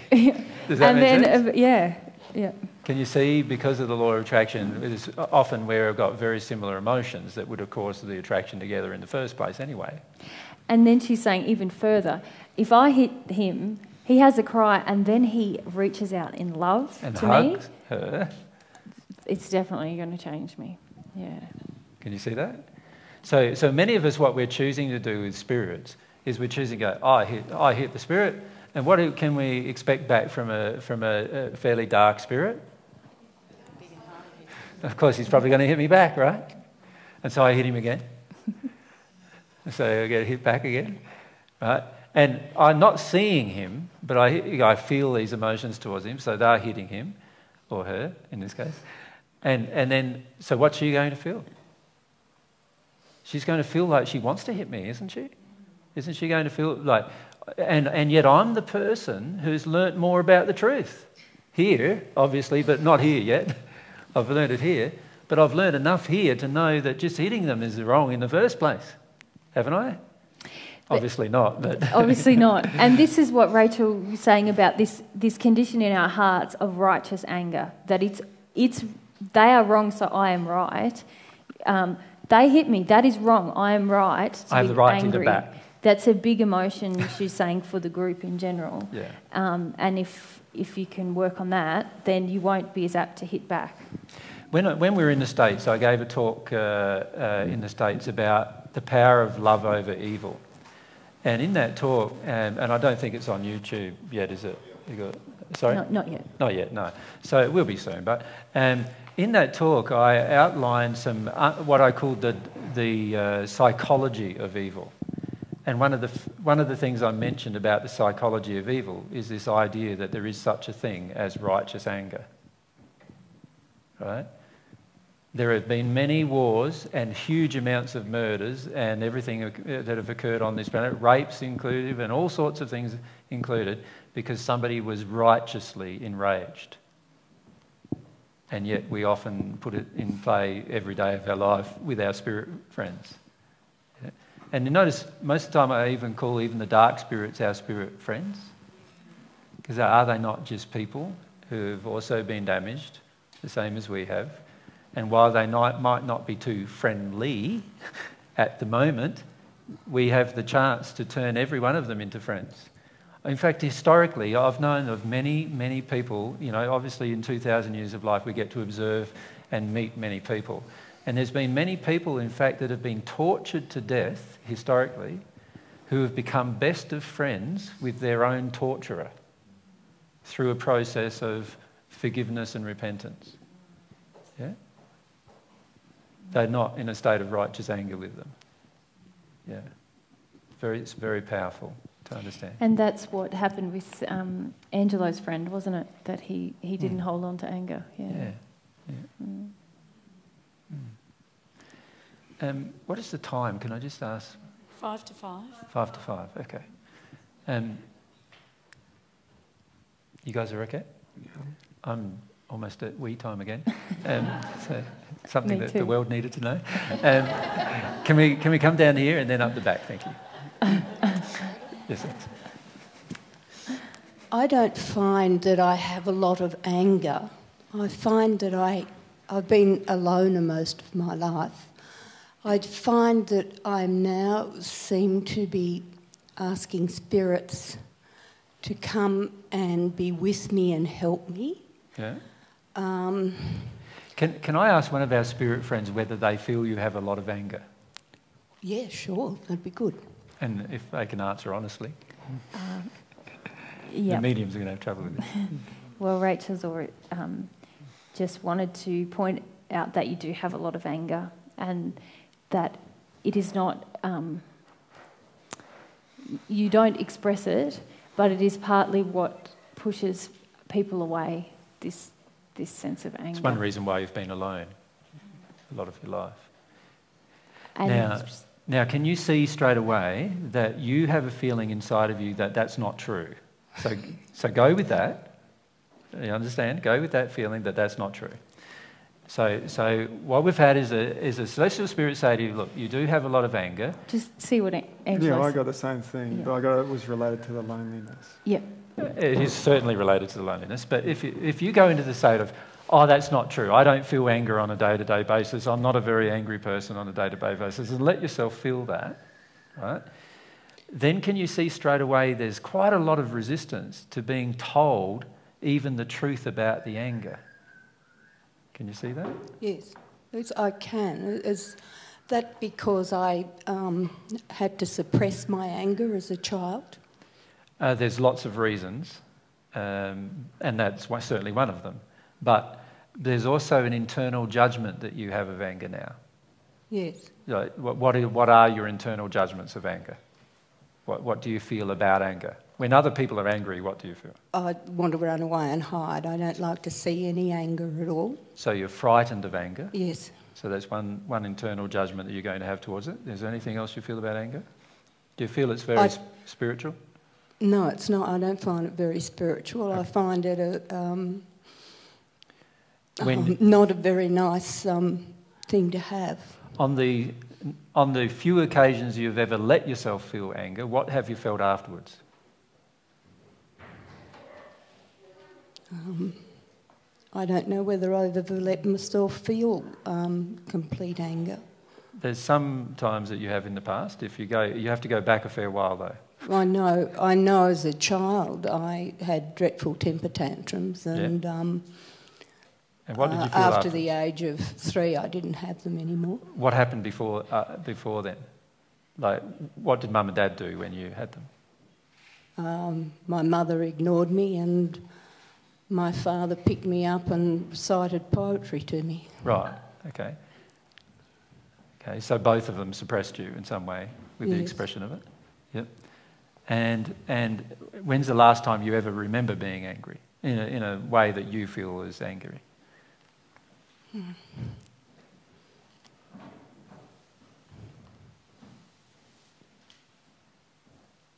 Possibly um, when my ex husband told me that um, if the if my nephews were coming out for the holidays, which they had since my brother died, um, that he was going to go away, and um, I told him that um, to keep on going. Yep. And I was angry then, I know. Yep. Yep. Okay, so that's the last time you remember. Um, well, that was the one that came to, to me. mind. it's- Yep, no, that's fine. So, so I suppose what I'm trying to illustrate to you in this discussion is that, firstly, our celestial spirit friends see something totally different inside of you than you see yourself. So that's number one thing to remember.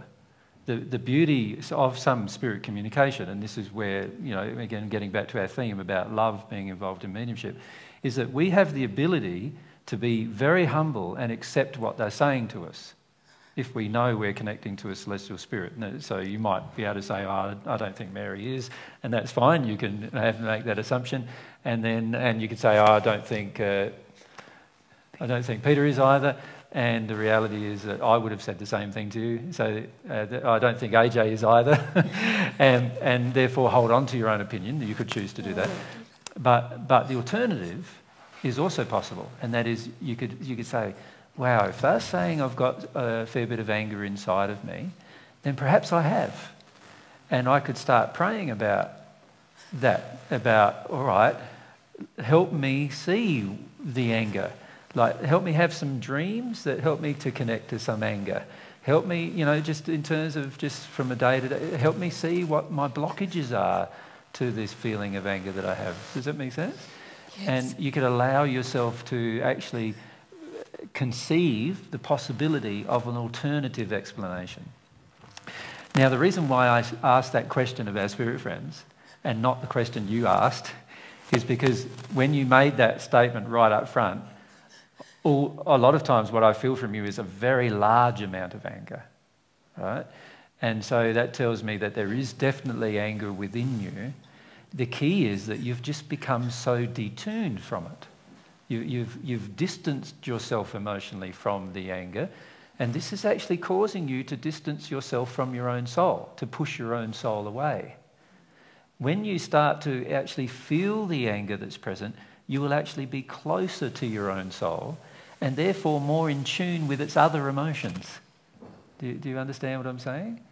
Now, for, for many of us, what we do is we detune ourselves from one particular or a group of emotions that we don't like at all. Shame is one of those emotions. Anger is another type of uh, those emotions that we have a lot of judgment of. Fear, mm, for men, fear is an emotion they detune from quite strongly. For men, we push that emotion away, not realizing that while we're pushing that emotion away, we are distancing ourselves from our own soul.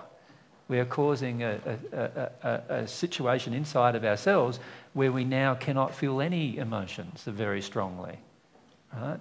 And, or we're very selective about it, and therefore we don't have the ability to heal them. Thank you. You can continue with the question, though, if you wish. Do you remember it now, or do you think that's enough? Don't remember now. no worries. So, What the- was what was your name? Sorry, Catherine. Catherine. Yeah. So, so Catherine, my feelings f- f- are if you allow yourself to conceive of the possibility that you are angry inside, rather than telling yourself that you're not a very angry person, then allow God, ask questions of God and your guides about helping you come to see what you're angry about. It will actually help you see why aloneness has been created in your life. Does that make sense? Because your original question was actually about aloneness and, and the fact that you are quite often feeling alone. Well, I take myself away from everyone else. You do. Yes. And um, I feel that it's a lot about feeling. One of the reasons that you're blocked to knowing that, like feeling that you're angry, is that you feel that no one will love you if you're angry. And I feel that's partly why you take yourself away from people as well. There's, there's a lot of sadness about feeling just unlovable, like the real Catherine. So, The- yeah. And part, partly it's part of the anger too, Catherine. It's like, it's this feeling like it's pointless being around anybody because nobody loves me. And, and there is some anger in that. Can you see that? Like, why should I spend time with anybody? Nobody loves me anyway. Yeah. Yes, I suppose that's right. So that is an anger. That is an anger anyway that's present. so you'll find with every problem that we have, there is always a linkage between the problem and what we are denying in ourselves. And, and this is where it's very, very important that uh, if we use mediumship, that we're open to hearing from our spirit friends the truth about the condition rather than what we think is the truth about the condition. The, the beauty of our spirit friends, like both Angelo and, and Rachel and Tim in this discussion, but there is obviously many thousands of celestial spirit friends with us at the moment, your own guides with us at the moment. The beauty of their condition is they see very accurately every single emotion we are denying. Mm-hmm. Every single one. Now, if I am humble enough to hear from them, I now have a unique opportunity to hear from a person who can actually see the emotion that's stored in me. Right? So I relish every discussion I have with my spirit friends about my emotional condition, even when they tell me I have things that I can't recognize. Does that make sense? Yes, it does. Thank you. Yep. Thanks. Right, well, I think uh, what we'd like to do now is maybe have a break. I know some of you might have brought something to eat or something like that. You might like to do that.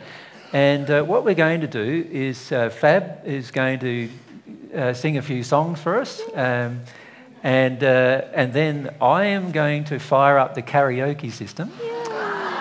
And I'll sing a few songs for you to get you started.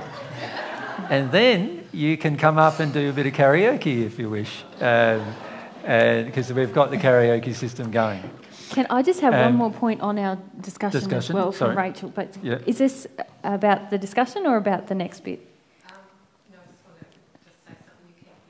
Okay, I'll go, then you go. Um, um, when we were in Greece, um, I had the lovely experience of right before our first talk, a group of guides who were actually guiding the people who came to the talk came to me to give um, some.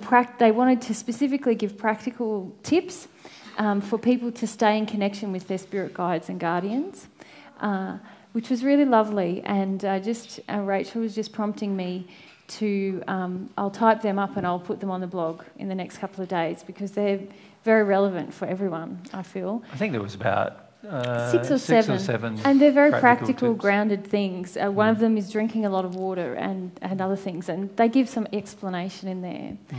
But Rachel was just, um, obviously, I had some difficulties with today's exercise, and uh, Rachel was just talking to me there at the end.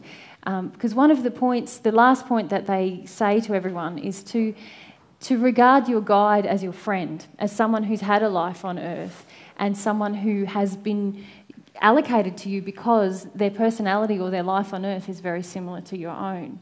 Um, and so Rachel told me that today was going to be um, very powerful for me, and I, I, had no idea about why. But um, that's because uh, she's been encouraging me and having me encourage other people for quite some time to get to know the, the life of your um, guide when they were on earth and in the spirit world. And um, I think that's because that increases their rapport with us. So um, that I just she wanted me to share that bit at the end that if you're able to open up to who is this character who's there to guide me, very often we use our mediumship in a, what, a selfish manner of what can I get from this person, mm. um, what come on, give me the answer, you know, when actually we do ourselves a disservice because if we're open to their life and we have more of this friendship connection with them, not only um, can they give us those answers much more easily, but we, there's more of a love exchange, it's more of a personal relationship. Yeah. yeah, and I'd just like to point out something with regard to Angelo. Many of you have now been hearing for months from Angelo, and yet many of you have never even asked him about anything about his own life. Have you, have you noticed that? That many have never even asked him about his own life. And this is an indication of how selfish we sometimes are in our interactions with spirits. We, we just want them there to give us something for ourselves or, or for some other purpose that's addictive. But very rarely do we want to actually have a increasing friendship or a bond of friendship. And friendship involves knowing the person. That's involves, what Angelo's been telling everyone to ask their guides Yeah. just what, Yeah. what they do. yeah. Yeah.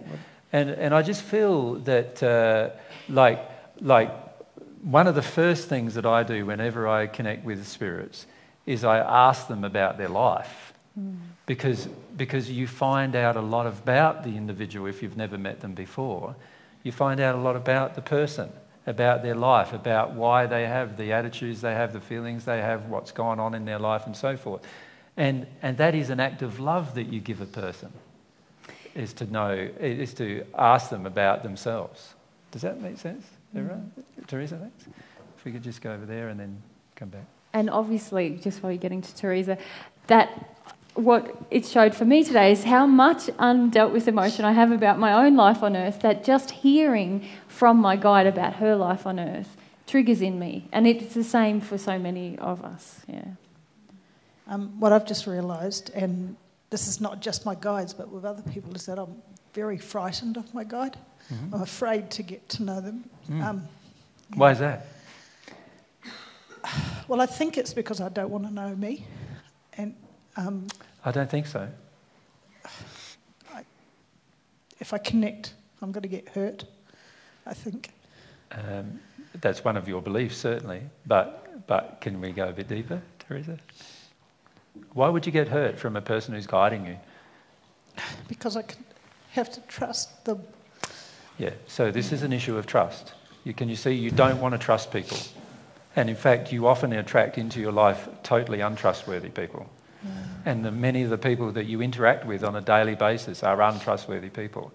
If you look at many of your internet interactions, which anybody in the world can observe, many times you're interacting with very untrustworthy people. And that's to trigger this emotion of how much you can't trust anybody. But, but your guide is one person you could trust. And, but you don't want to feel the emotions associated with the risk of trust. Do you, do you see the difference? Uh, you, you, you, don't want to take the risk of trusting somebody. The vul- it's a vulnerable It's a vulnerable place of trusting somebody and then having them disappoint you. Yeah. You don't want to feel that emotion again. You've had enough of that emotion in your life. But the reality is you need to feel that emotion and release it. And the only way you're going to do that is by learning to trust somebody. And who, who better to trust than who's, who's better to trust than your own guide who loves you and cares about you and knows your life? So take the risk. Can you see even just taking the risk is going to bring up a fair bit of grief for you? I don't believe I can. You don't believe you can? Um, yeah, now this is, this is where anger takes over. Yeah. See, we don't realize that many of our statements are born in anger. So when you say, I don't believe I can trust, really what your soul is screaming out at the time is, How dare you ask me to trust somebody? Don't you realize what's happened to me in the past when I trusted somebody? Every time I've trusted somebody, somebody's hurt me. That's the, that's the place that you're actually in, that rage. The key is to feel that and then you'll start feeling some of the grief under it, which is this terrible feeling of being hurt by people you have trusted in the past. Mm. So, so this idea that you can't do it is born out of a desire to not want to do it. And all of us need to understand this that often our statements tell us a, great deal about where our rage is. And if we listen to ourselves, we'd often be able to express ourselves more directly with regard to the rage we feel and therefore quickly connect with the emotion. Last night we had a, a discussion with a group of people and, uh, and I was talking about mothers and how badly their mothers had treated them. And, and it was a, quite a confronting discussion because, because for everybody present, most of them had had mothers that had treated them quite badly. And, uh, and in fact, I, the, there was quite a lot of feeling in the room that I was wrong in saying these things about their mothers. And yet, I was just expressing the rage that each of the women that I was speaking with have towards their mothers because of how their mothers had treated them. And we often are totally in refusal to even connect with the rage that we feel about how we've been treated. Yeah. So go with that, I don't want to trust anybody feeling that you have, um, and allow yourself to feel that more fully. Yeah. Thank you. Um, uh, there was a lady at the back that we. Uh, just here was the. about a different subject altogether. responsibility. Yeah. Uh, like thinking about children. If you You hold the microphone. hold the mic to your mouth. Uh, thinking about children and growing up, you know, children at what point do they, you know, start to, or can start to recognise the difference between blaming their parents and then taking responsibility?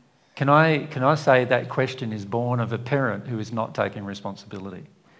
The reality is, if we realised as parents how much we have damaged our own children, we would never expect our child to never blame us for the damage. We would, we would be totally accepting of any blame that our child put towards us with regard to how we've damaged them. So, so what we're often doing as parents is we're saying, oh, I want get my child to get to 21 and then my child stops blaming me.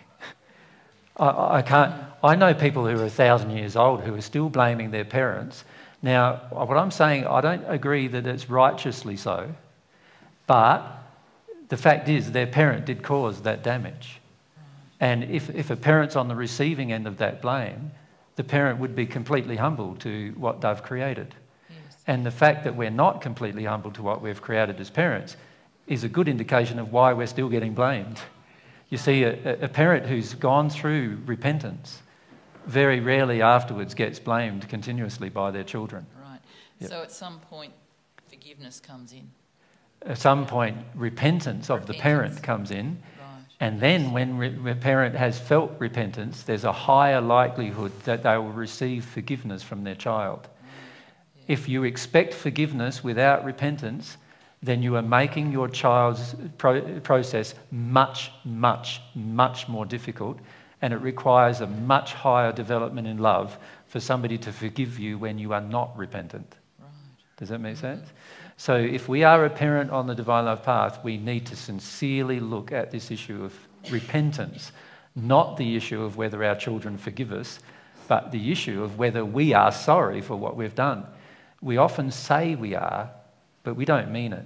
And whenever our child projects the blame, we get angry, which is an indication that we are not sorry for what we have done. Does that make sense? Mm-hmm. Yeah. Sure. And there was someone down. Just here, this lady with the sunglasses. Yeah. Um, I, I have a question, but I just wanted to point out first that behind you the wall press is made by Humble and Sons. yeah, funny That's name. lovely. eh? um, so all our interactions with the spirits who are not celestial spirits but lower ones are basically the sa- are they basically the same? Uh, you know, our, our blame and our, our our errors in our interactions with those spirits are basically the same as what the same thing as exactly the same as we do with each other uh, in body on the earth. In what way are you Um, referring to? Well, if someone's angry with us, we react in anger, for Mhm. example. Mhm. Uh, is there a difference between that interaction with a person in body and, and the same? Because it's the same emotion, right? It's the same condition in our Same- soul. Same, Same condition, in our soul, the same emotion. emotions, yeah, I just and, to and the person in the spirit world feels it as badly Yes. as, as a person on earth would feel it as well. Yes. Quite often more, More- more, more so, so. because they are a bit more sensitive to the expression of emotion. So quite often they even feel it worse than a person on earth would feel it. Yeah. I'm sorry I got so hung up on the humble and son.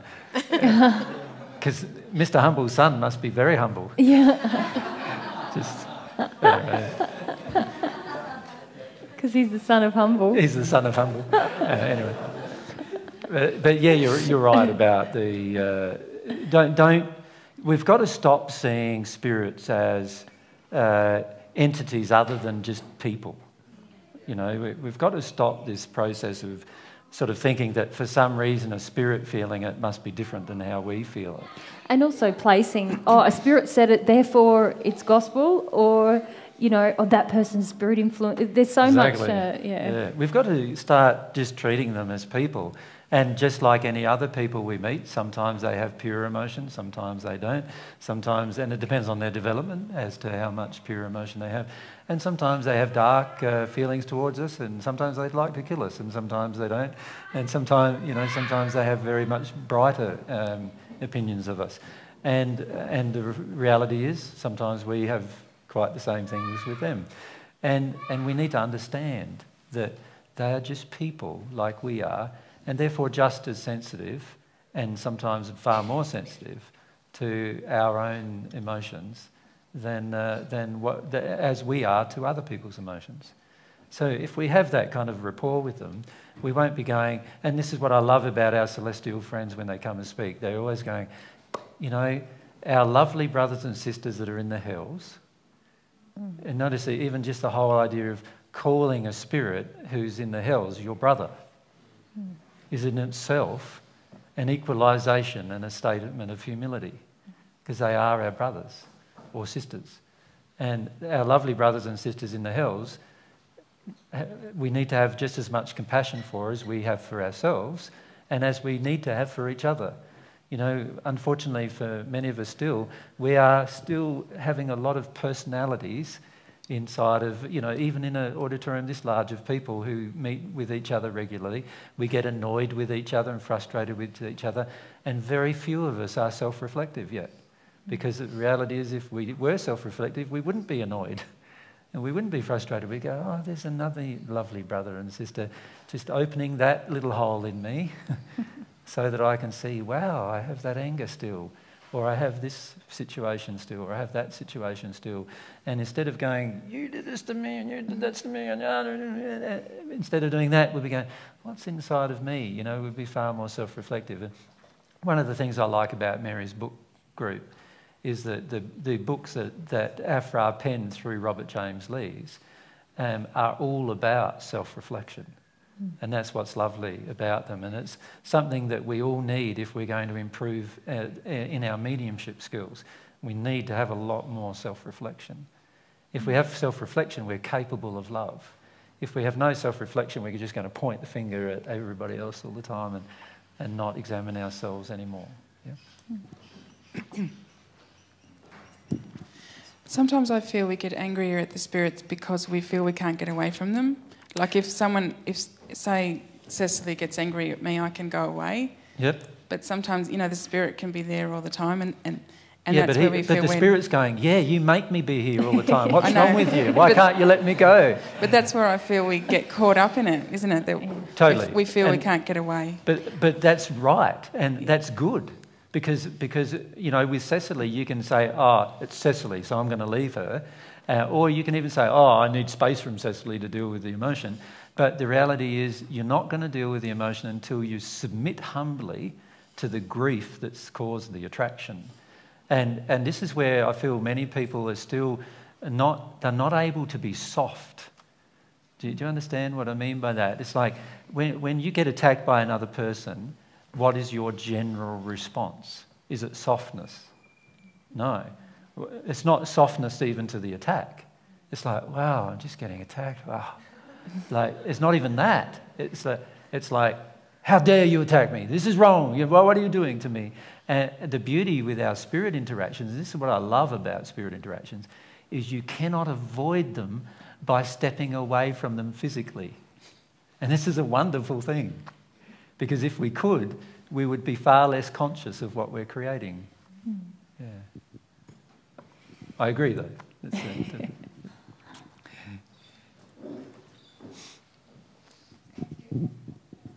How about if we uh, don't know our guides? I feel I'm guided, Mm-hmm. but I, I don't. I can see them and I can't hear them. Uh, even though I pray, I include, include them in, into my prayers every day. Yeah. But I don't feel I have a, a really good connection, a, a connection with them. Yep. Well, um, the talk that Mary mentioned about what we did in Greece, which was actually more like a discussion, it was just like a round, uh, we, had, we had a discussion with 20 or so people where we outlined, where the spirits actually outlined how we could have a better connection with our guides. My suggestion is that when that talk is uh, put on YouTube, is to have a listen to that or watch that talk because that will help you. There, there is a long list of things that we can do uh, that can significantly improve our connection with our guides. So my suggestion, firstly, is to have a have a listen to that talk, and uh, and during that talk, you will see there is many aspects, physically, emotionally, and spiritually that we can do to actually have a stronger connection with our guides and actually be able to communicate with them freely. All of your guides do wish to communicate with you. So, so the only reason why our communication is not happening is something to do with ourselves.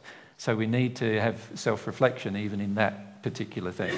So many of us feel like, oh, I desperately want my guide to talk with me, mm. but, but there must be something blocking it if it's not happening. And it has to be within ourselves because our guide does want the communication. So, uh, what I would be doing is having a look at, at, that presentation when it comes out.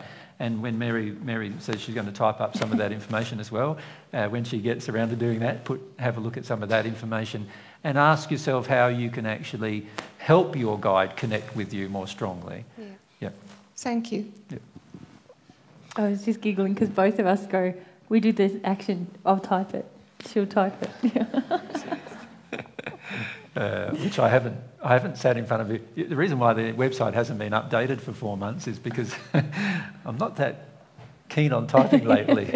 but anyway, that's an issue we'll have to address.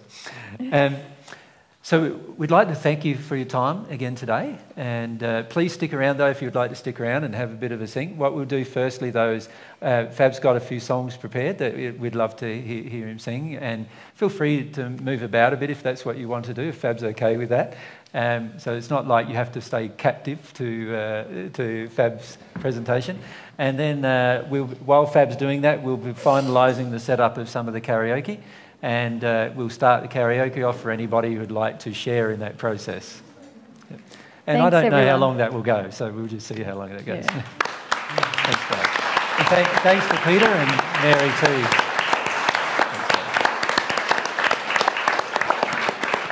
Thank you. See, you put new batteries in it.